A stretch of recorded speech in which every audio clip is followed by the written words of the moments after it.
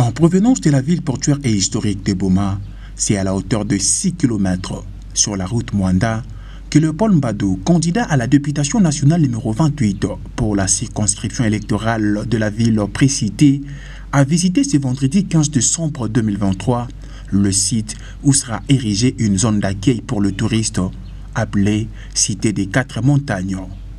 Ici, dans cet espace vierge d'environ 10 hectares, sera construit un hôtel 5 étoiles aux normes internationales, à côté duquel un cercle sportif va être aménagé. Un terrain de golf, un terrain de basket, un terrain de tennis, un palais des congrès pour diverses conférences et plusieurs boutiques de marques internationales, pour ne citer que ceux-là, sont entre autres le projet du candidat à la députation nationale numéro 28, Léopold Mbadou, pour sa ville de prédilection. Terrain de tennis, terrain de foot, et puis l'hôtel 5 étoiles.